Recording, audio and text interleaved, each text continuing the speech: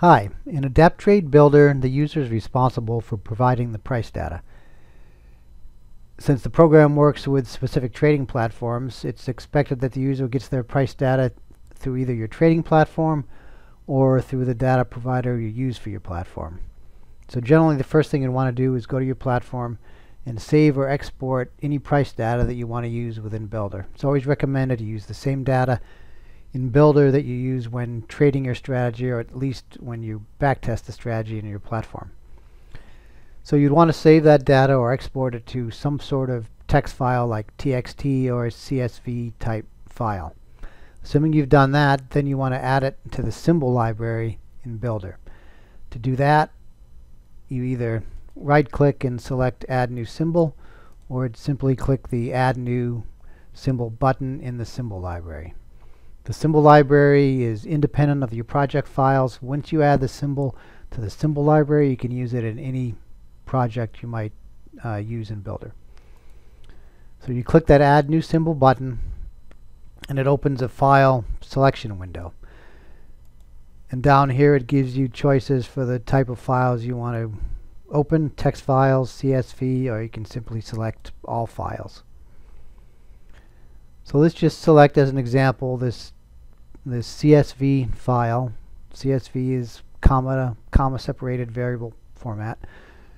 You can get that from an Excel file, for example, by saving your Excel file to a CSV. So we double click on that and it opens that file directly in the so-called data file format window.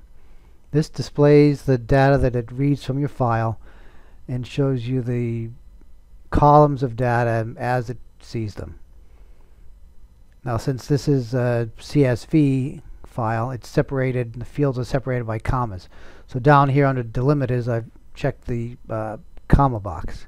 If I don't, you'll see that it's it doesn't properly separate the data into columns. And if you have data that's separated by tabs, you can click the or select the tab button or some cases they'll be separated by semicolons or spaces so you can select those buttons as necessary.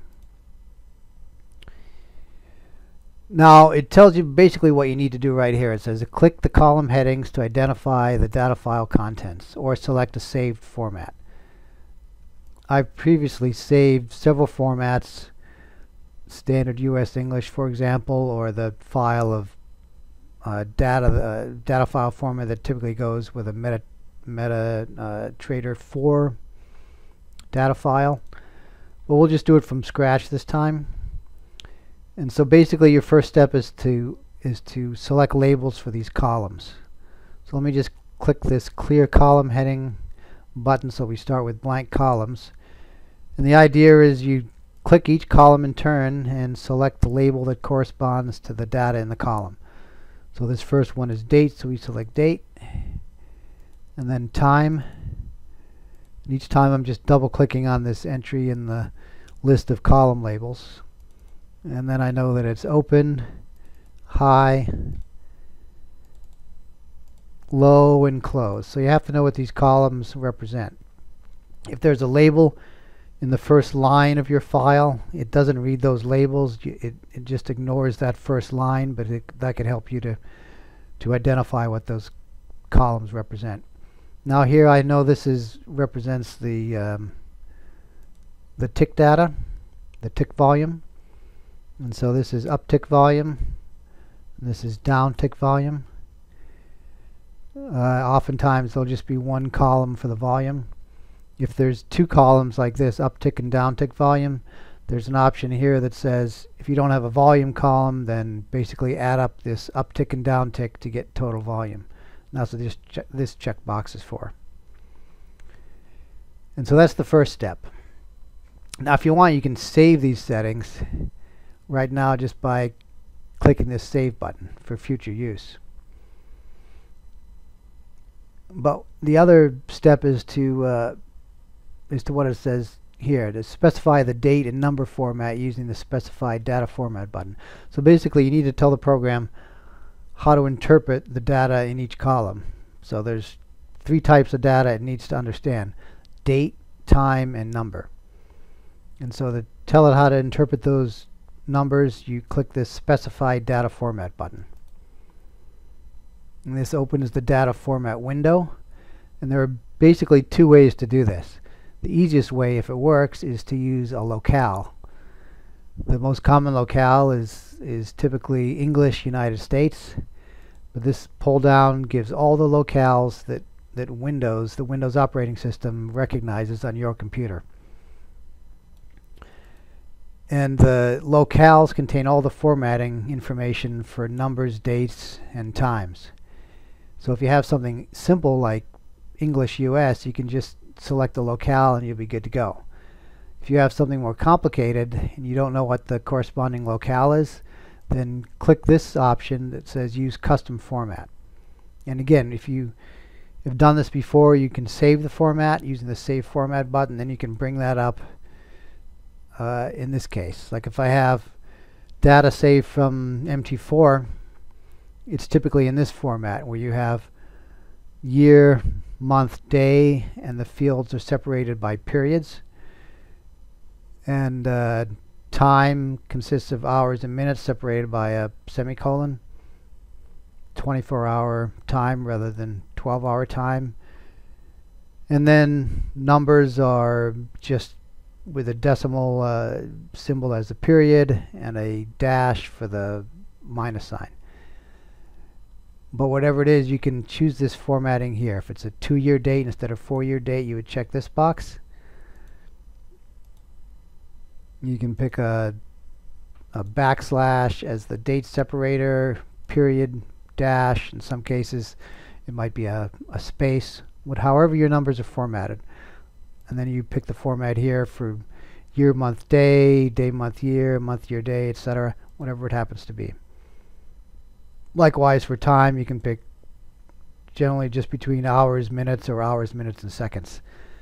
But you have to tell it what it is. In some cases, there's no separator symbol, so you would check this box, and you can see how the the format changes. And it might be 24 hour or it might be 12 hour. If it's 24 hour, there's nothing else, you're done with the time. If it's 12 hours, then you have to uh, pick the AM and PM symbols, which can also be a custom symbol if it's not just a standard AM or or uh, A dot M dot. And then likewise with the numbers, some some uh, countries use commas as a decimal symbol. Occasional, occasionally you'll see an apostrophe. If there's something else, you can add the custom symbol here and likewise with the negative symbol for the for minus numbers, negative numbers. So once you've done all that, and we're just going to use the locale in this case, but if once you've done all that, you click the OK button, and now it should have everything it needs. Between the column formats and the number format, when you click OK, it's going to read the file and process it. And then the first thing to check when you get to this window, the symbol properties window is the date range. So it'll show you the first available and last available dates that it reads from the file. And you should check these to make sure they make sense. And so I know from that data file that these numbers, or these dates are correct. These are the first and last dates in the file. And then you can type whatever you want for the symbol and likewise, you can type in, in a symbol description. And then the symbol type can be stock futures forex or an external equity curve. And that's explained in the user's guide if you're not familiar with, with what that means.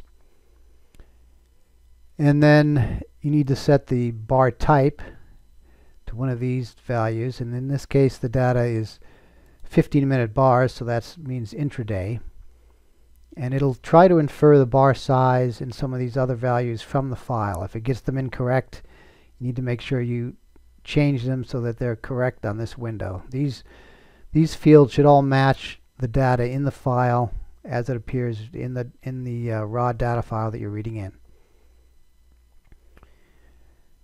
And the session start and end times, it'll also read the file, scan the times, and try to get those correct and uh, it takes into account the bar size. So for example, the first bar time in this file I believe is 945 so it knows it's 15 minute bars which means the session start time is 930 because the bar time represents it assumes that the bar time represents the close of the bar. Now if any of these things are not correct you can change them here. Point value for stocks or futures is or stocks or forex is 1 excuse me for futures you have to know what the point value is. You should be able to if you don't know that already, you should be able to get that either through your platform, your broker, or through the exchange website. Tick size and bid-ask spread generally the same, and they'll try to infer those from the file. Again, you can change those if necessary. If you're not, if you're not familiar with the price band size and how that works, uh, that's typically for uh, for futures. You can read about that in the user's guide if you need to. The trading costs, this is a default value for the costs. On symbol properties, this is just a, a default value that, that um, will show up if you don't add costs elsewhere. But you should always set the costs on the build symbols window before building or on the evaluation symbols window before evaluating. And then this is the type of cost, whether it's amount per share, amount per trade, or percent of trade. And now the, the last important thing to keep in mind is that once you get all these settings correct and you've made all the correct settings on the data file format window, you can verify the format on this window by clicking the View Data button. If everything is correct, then View Data should show the data as it's uh, shown in your data file. Because this is basically using all those settings to read the data file and process it and display it. So if it doesn't show up correctly here, in under view data, there's a problem with one of your settings. You need to go back and, and modify your settings. If everything looks correct here, for example, we see the first date, first time, all this data looks correct. I can scroll down to the bottom and the final date, time, and data look correct. So I have a pretty good idea that this is the uh, the correct formatting and everything is correct. And that's it. You just click OK. And now this will show up in the symbol library. And I can move this to wherever I want. If I want to move this into one of these other folders, I can do that. If I want to create a new folder, um, I can click this new folder button, create a new folder, and then add the symbol to that folder. And then I can click this button to uh, add the symbol to the build. Or I can click the View Data button again, which brings up that that same view data window and so on. So, and clicking this properties button will open that property symbols window again. So that's it for adding data to the symbol library. Please see the other videos for other aspects of using the program. Thanks very much.